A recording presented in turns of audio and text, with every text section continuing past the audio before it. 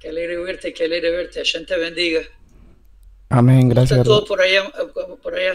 Amén, todo excelente, gracias a Dios desde Panamá. Baruch Hashem. Y Rabino quería eh, pues hacerle una consulta. Amén. Quería hacerle una consulta referente a las congregaciones Benay Noach, a las congregaciones Anusin, su propósito, la necesidad y la importancia de reunirse para el Benay Noach y el hijo de los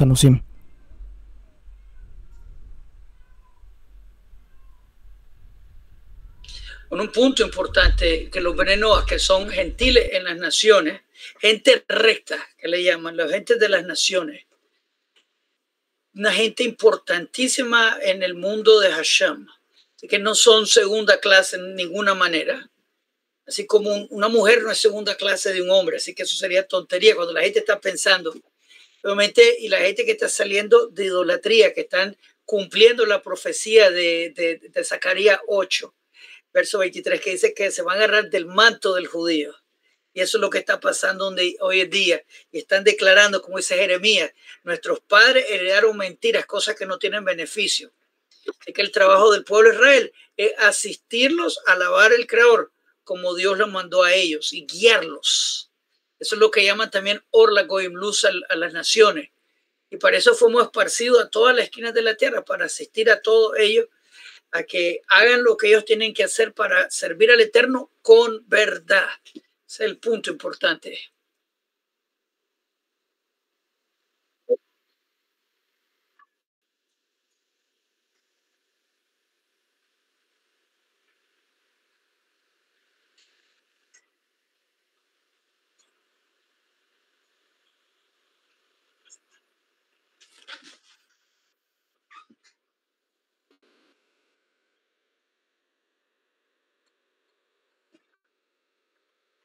Con un punto.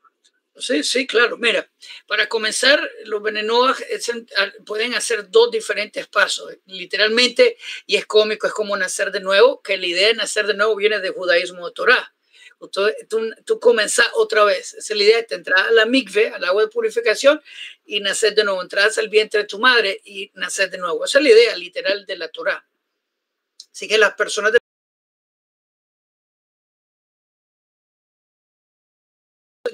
tienen que revisar su alma, pero para comenzar es servir al Eterno con, con lo que Dios le dio. Son venenoas, son gentiles de las naciones. Si fueran judíos de mamá, de, de, descendencia, obviamente entonces tal vez sería diferente, pero en este caso estamos hablando de gente de las naciones que saben que son gentiles, por lo menos entienden que son gentiles, cómo servir al Eterno en ese momento con lo que tienen. De nuevo, tal vez como una mujer que sabe que es mujer, y reconoce que es mujer, ¿cómo servir al Eterno como mujer? Ah, hablando en diferencia, obviamente, y no significa que el judío es mejor, sino que tiene una posición de llamado, así como yo personalmente soy el primer nacido. Ah, así que yo no soy mejor que mi hermano, tal vez mi mamá prefiere a mi hermana, pero eh, en el sentido de que tenemos diferentes llamados eh, para, para servir. Ahora, los venenoas, ahí en ese momento pueden escoger qué es lo que quieren porque eso tiene que ser a nivel del alma. No, nadie te puede decir qué es lo que tienes que hacer, sino tu alma, o sea, Hashem puso algo en tu alma para saber si te quedas como Benenoah, que es fantástico, increíble, porque ese es tu llamado como Benenoah, o decidir eventualmente hacer conversión al judaísmo de Torah. Todo el mundo tiene que ser Benenoah, incluyendo el judío, el levita, el, el, el familia sacerdote, todos tienen que aplicar las leyes venenoas. Así que un judío ortodoxo vive las leyes venenoas también, que son parte de la Torá.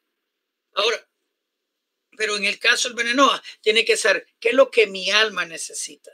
Así que ningún judío puede decirte, quédate como tú, como tú estás. Porque en verdad es tu alma que necesita, requiere, desea, si es el caso en el caso de tu alma a hacer conversión al juez motora, que toma tiempo. Hay países que no tienen la conversión, significa tal vez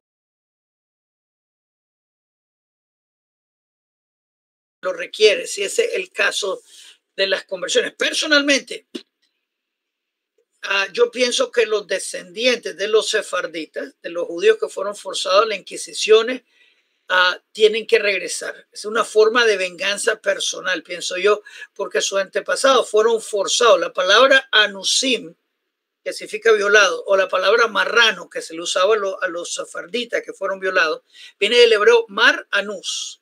Fuimos agriamente violados. Eso es lo que significa. Suena como puerco, marrano, pero en verdad es hebreo, mar anus, marranos, que fueron violados y obviamente estamos en el tiempo del regreso, ya está llegando el tiempo de la quebula, el tiempo de la, de la redención, y es un fuego que, está encendido muchísima gente alrededor del mundo. Disculpa que te cuente una historia rápido. Había una señora, se llamaba Raquelita, y era del Salvador, que su memoria sea para bendición. Señora anciana, una, un, una, persona que me dejó impactado. Ella uh, era gentil, que sepamos, y ella decidió con su Neshama, que su Neshama requería, su alma necesitaba, necesitaba ser judía. Ella y su esposo, los dos eran ancianos. El Salvador era virtualmente imposible que hicieran conversión, pero el Eterno hizo lo imposible para que se dé. Fue increíble. Inclusive creo que fue con el rabino Bud. Pues, si ¿Te acuerdas del rabino Bud? Él asistió todo eso. ¿Qué pasa? Que esta señora Raquelita estaba en proceso de conversión y le dio un cáncer en el cerebro. Y ella continuó, continuó. Ya anciana, obviamente, bien feo la situación, difícil, pero determinada. Terminó la conversión. Ella y su marido hicieron la conversión, se casaron otra vez. Dos semanas más tarde ella falleció del cáncer. Pero murió satisfecha en su alma que fue judía. O sea, es una decisión del alma. Y ese es el punto que todo el mundo tiene que saber.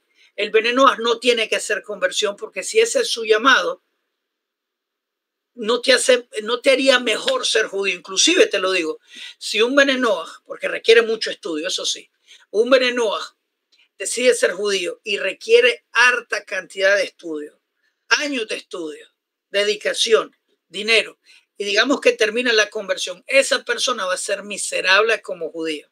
Como para una persona que es su necesidad de su alma, que hace la conversión y va a estar satisfecha, delicioso, increíble, ¿me entiendes?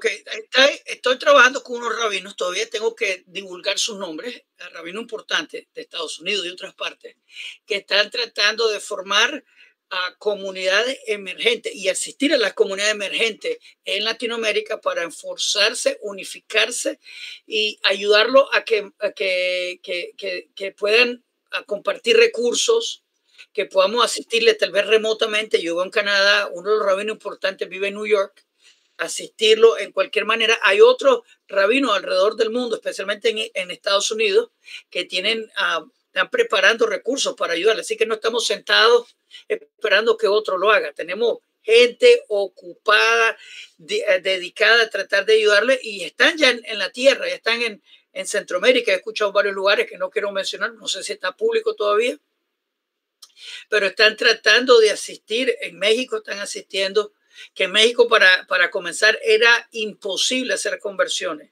y ahora es posible. Hashem Oseniflow Levador, Hashem ha hecho maravilla, especialmente para mí que una venganza que, que deseo que es parte de Hashem ser la venganza de los sefarditas regresar. O sea, un punto importante.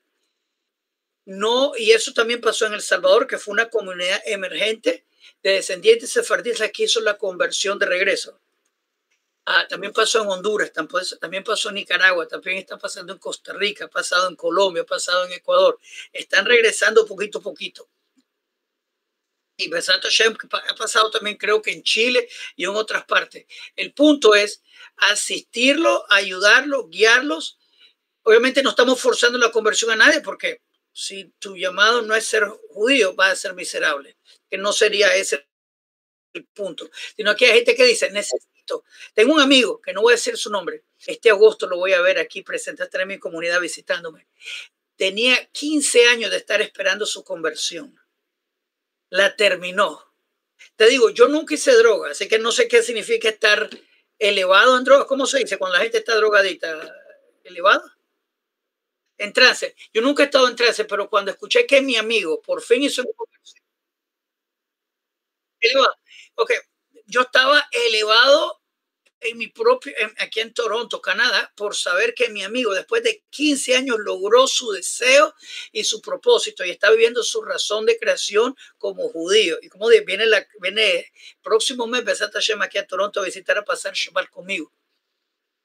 Ashreno, como se qué alegría. Así que el propósito de las comunidades Bene Anusim, que uh, es para que, para no uh, poner peso de extra las comunidades judías, porque también los venenos, los, los tienen un problema interesante que los dos, venenos y los venenoas tienen un problema en común. ¿Cuál es el problema? Bueno, el doble. Uno, no queremos que un venenoa, ni tampoco un veneno se case con Cristina, la cristiana, la católica, la evangélica, la mormona, lo que sea. No, no queremos eso, ya sea para el veneno o para el venenoa. No, ya salieron de idolatría y obviamente los solteros, que es naturaleza humana, que quieren casarse. Obviamente van a decir, bueno, pero no hay aquí. Y obviamente falta de unificación entre comunidades es bastante difícil para los solteros. Y eso, y obviamente para los niños que están creciendo en las comunidades que están isoladas. ¿A dónde voy? ¿Con quién me junto? Y para personalmente, porque tengo esa molestia que no me debe molestar, pero porque los quiero quiero los venenos, quiero los venenosín, quiero escuchar que ellos tienen con quién reunirse, con quién gozarse. Yo vivo en una comunidad más grande de, de, Norteamérica. Tengo aquí en mi barrio, en, en, en, Canadá, tengo 300 mil judíos. Así que tengo cerca, de los 10 kilómetros, tengo como 52 sinagogas. No necesito yo eso. Pero me pongo a pensar en aquella persona que está en, Ecuador, en, Quito, Ecuador, o en, o en donde sea, que se encuentren y se sienten solitos y la familia sola, con quién me gozo, los niños con quién juegan, con quién interactúan, con quién se va a casar la hija, ¿me entiendes? Y esa es una preocupación mía, así que mi idea, y yo estoy seguro que el rabino Tomer y todos estos rabinos están pensando en eso, de tener unificación a todas las comunidades uh, venenoas, que tengan reuniones, que pueda viajar una persona de Ecuador a, Chile o que viajen a, a, México y que tengan, eh, tengan su comunidad, así como judaísmo.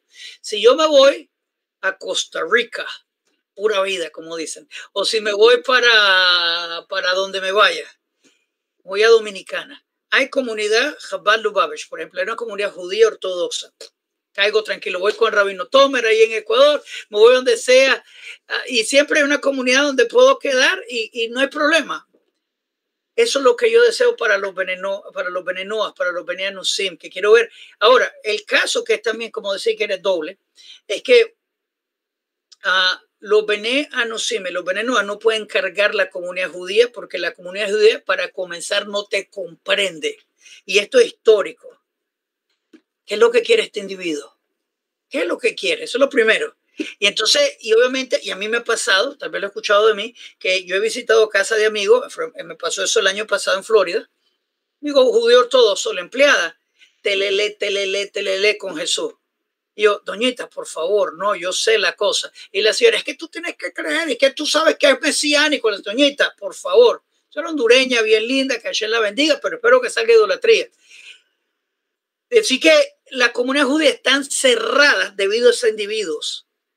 Uh, yo he estado en comunidades dominicanas, en otras partes del mundo donde yo he visto que las comunidades dicen, ah, es que sí, es que fastidian. Así que uh, las comunidades judías están con las puertas cerradas. Yo conozco una comunidad que no va a decir su nombre, emergente, que dijo, no, vamos a hacer